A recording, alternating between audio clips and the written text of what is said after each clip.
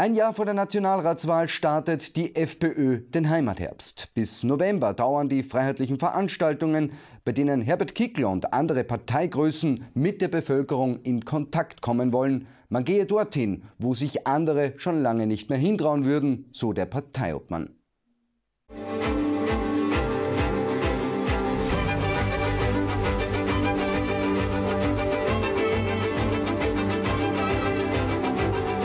Allen neuen Bundesländern will die FPÖ-Spitze auf ihre Heimattour einen ganz intensiven Schulterschluss mit der Bevölkerung leben. Und das ganz ohne Berührungsängste.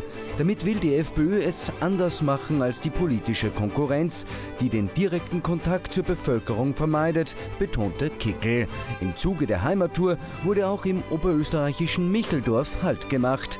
1000 Menschen sind der Einladung gefolgt. Am Rednerpult war unter anderem FPÖ-Generalsekretär Michael Schnedlitz und Landeshauptmann Stellvertreter Manfred Heimbuchner. Ja, ich weiß, da werden jetzt manche vielleicht in Schnappatmung ein bisschen äh, geraten. Die Kollegen aus der Medienlandschaft vielleicht, die lieben Freunde aus dem ORF. Und äh, wenn ich schon beim ORF bin, dann muss ich ein großes Lob ansprechen und großen Respekt und zwar dem Herbert gegenüber, denn äh, vor ein paar Wochen hat ja ein selbsternannter ORF-Komiker äh, versucht, wieder mal unseren Herbert Kickel zu belästigen. Und der ist dann ein bisschen unsanft aus dem Bus entfernt worden. Und dazu sage ich aber Folgendes, lieber Herbert, ich danke dir, dass du oder dass die Security diesem Herrn einmal die Grenzen aufgezeigt hat.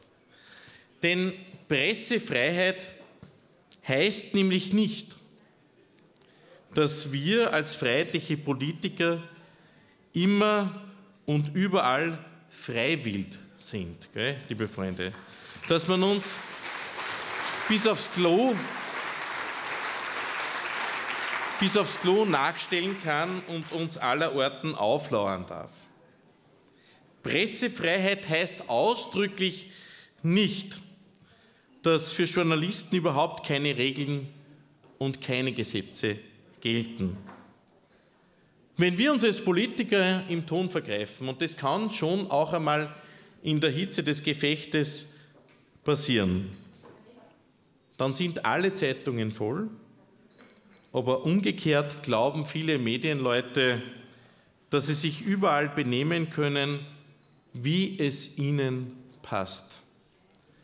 Und das ist überhaupt etwas, das in diesem Land einige verlernt zu haben scheinen. Anstand und gutes Benehmen.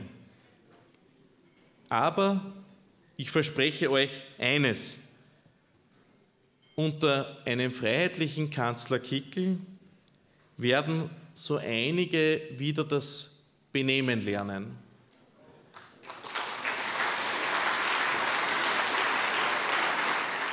Und genau deswegen sind wir heute da, weil wir der Meinung sind, nach vier Jahren Schwarz-Grün in Wien unten, da braucht es wieder die Kraft. Da braucht es wieder die Kraft, die auf eurer Seite steht.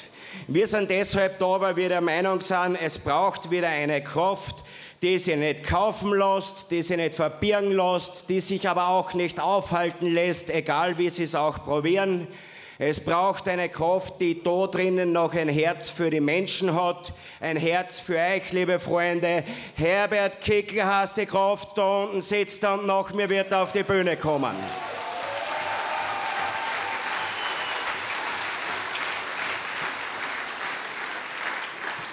Volkskanzler statt Volksverräter, wenn so wollt. Und das ist dringend Zeit.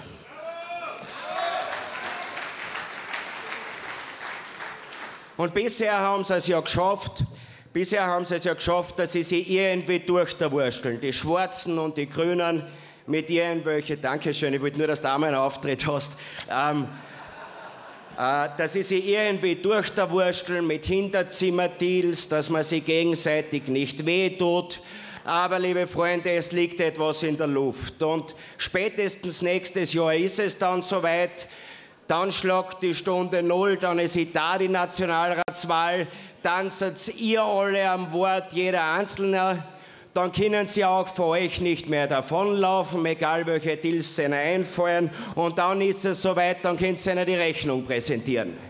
Die Rechnung für all das, was sie euch und euren Familien andern haben die letzten Jahre.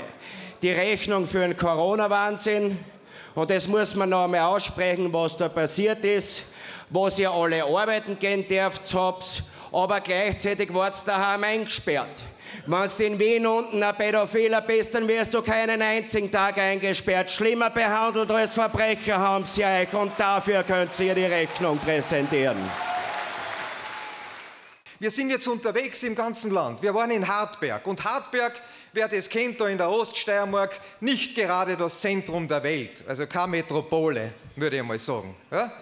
Aber dort waren in drei Stunden in einem Festzelt mehr Leute Mehr Leute als bei drei Kinofilmen über Sebastian Kurz in drei Monaten in ganz Österreich.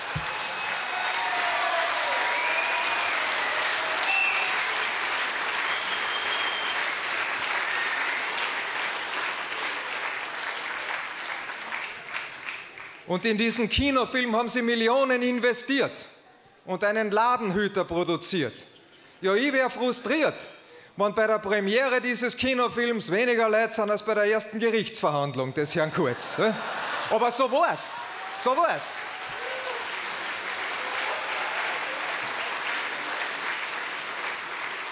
Und so ist das eigentlich überall, wo wir hinkommen. Volle Häuser und eine gute Stimmung, Zuversicht und Optimismus. Ich merke nichts von diesem angeblichen Raunzertum und davon, dass bei den Freiheitlichen nur die Nörgler sitzen, sondern ich sehe lauter Leute, die eine Hoffnung in die Zukunft investieren, aber die nicht bereit sind, auf diese falschen 50er zu setzen, die bisher alles verbockt haben.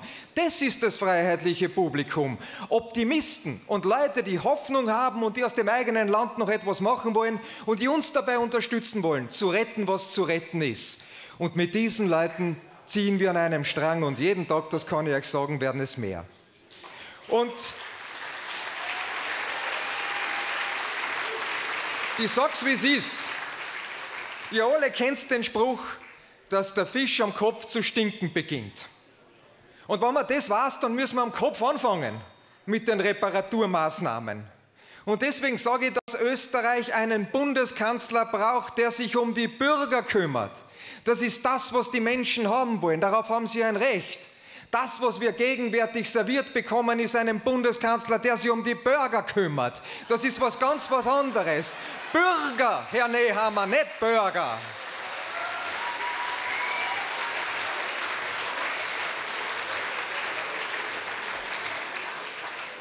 Das meine ich mit einem Volkskanzler. Einen Volkskanzler brauchen wir und keinen Systemkanzler, der möglicherweise glaubt, dass die englische Übersetzung vom Bundeskanzler Burger King ist. Ja, liebe Freunde, aber es ist ja irgendwie, es ist ja irgendwie symptomatisch für diese Politik. Ne? Junk-Politik, Junk-Food. Das passt zusammen, man klumpert da wie dort. Und wenn ich bei Junkfood und bei einem Glumpert bin, dann ist nicht weit zu Werner Kogler. Der ist ja.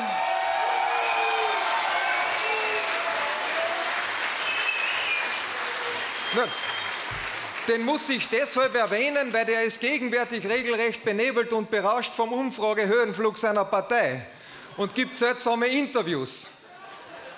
Der hat also jetzt gesagt, dass die Bezeichnung oder der Begriff Volkskanzler grindig ist. Das hat er, glaube ich, in einem Standard-Interview abgesondert, kann man da nur sagen. Ja? Also erstens einmal ist das nicht grindig. Und zweitens, Herr Kogler, es gibt nichts in diesem Land auf der politischen Ebene, was so grindig ist wie Sie. Das ist doch der entscheidende Punkt.